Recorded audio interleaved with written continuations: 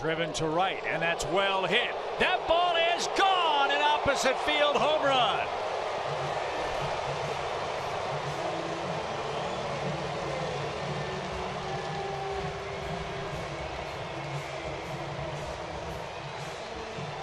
Katie bar the door. The Braves have broken through here in the seventh.